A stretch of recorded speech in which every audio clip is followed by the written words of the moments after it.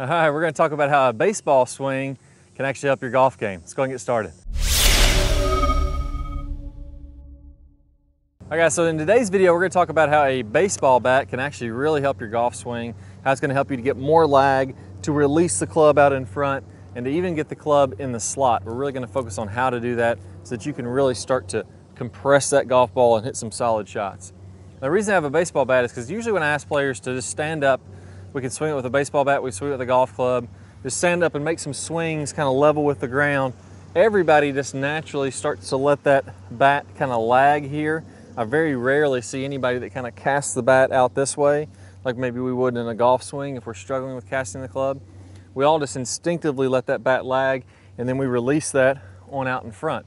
That's like the lag and straight line release. So this point in the swing would be when I'm just coming down in my downswing when I'm releasing the club out in front and releasing the bat out in front, you'll see tons of major league pitcher, hitters kind of stuck in this position here.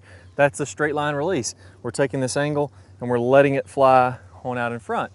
Same thing happens in the golf swing. We're even going to talk about how when we match up this baseball bat with our forearm, if we were to drop that down into the golf swing, now all of a sudden we've got that coming down into the slot, that club tracing down that forearm like we all want to have.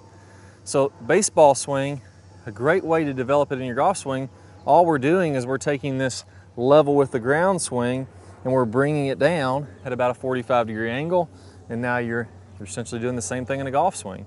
So let's grab a golf club here and let's talk about how I'd want you to do this drill.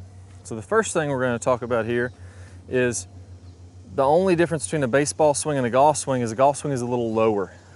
So when you're doing your, your golf swing, we're over the right shoulder in the backswing like this. As we come down, we're more waist high. So if you look at my forearm here and you look at this golf club, see how they're about the same height. And then when I release, I'm releasing out in front and then I'm over my shoulder as I'm coming on through. That's what's gonna get you in the slot. So let's start out by making some swings where you just take it over your right shoulder with a golf club. We're gonna swing level with the ground and then you're gonna come to here and you're gonna be level with the ground, level with your forearm, and that club is really gonna lag. If I was to turn down, that would be in the slot, and that would be really, really lagging the club. So again, if I go from this angle, piece checkpoint number one, I'm gonna let that club kind of drop down waist high. The club shaft and my right forearm are matching each other, and I really have a ton of lag. Looking at from this angle, a lot of lag. If I look at it from this angle, I'm doing that same thing. I'm checking it here, and then as I bend forward, now you'll see this club is rolling right down my forearm like we see with the pros. We talk about that a lot in the move section, how to shallow out that club and get it on that forearm. This is the same thing, we're just coming at it a different way, different direction. So that's the first piece. Let's go over your shoulder like you're loading up. Piece number one, lot of lag, club lower, matching the forearm. Piece number two, we're gonna go ahead and let that release, which would be the straight line release. I've taken all these angles and I've let them go. I'm swinging on this same plane the entire downswing. So it's just like a baseball swing, just a little lower, and then boom, I'm letting that release on out in front. If I tilt that forward now, let's imagine this is my golf ball. Here's piece number one, that we're here. Piece number two, I'm letting that release out in front, just like a golf swing. And then the final piece here, got our lag, got our release, then we're just gonna go ahead and come on up over our shoulder again to finish. So we're starting over our shoulder, letting that lag on our forearm, that gets us in the slot. That gets us tons of lag as we're coming down. Third, second piece, we're gonna release that out in front to the straight line release. All those angles are gone. We're swinging on that same plane. So if this club is releasing, it's releasing 45 out in front and it's on that same level ground. So we're swinging parallel with the ground. All we're doing now is we're tilting that in front of our body. And then finally, you're gonna come around to get that finish. So do about 20 or 30 reps with those checkpoints. Pause in piece number one, make sure that's good.